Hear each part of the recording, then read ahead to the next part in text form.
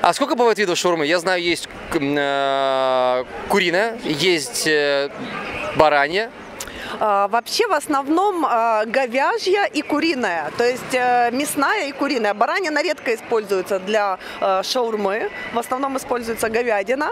А, И, скажем так, э, вот у нас шаурма, да, это мясо, завернутое в лаваш. По-турецки это называется донер.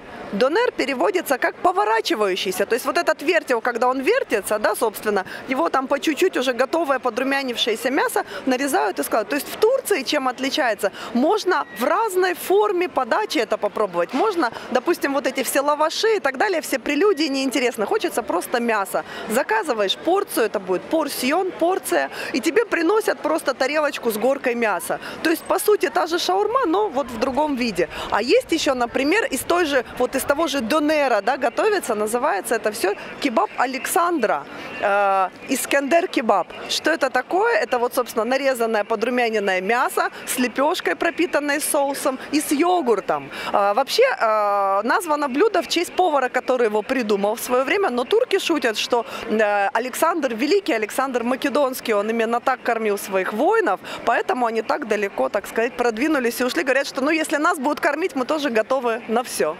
Особенно мне понравилось, знаешь что, вот эта самокрутка, э, ша- шаурминая самокрутка, тебе нарезают мясо, ты приходишь и заворачиваешь его сам. Такой, знаешь, самосад. Все, мы отправились на кулинарную экскурсию, не отставайте.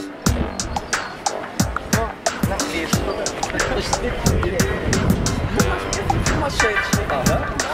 Кстати, Это это местный- изве- местный известный сумасшедший. Вообще, когда обычно начинают крутить колесо. Так что вот это, кстати, это то, сейчас. Ну все, надо денег. Браво.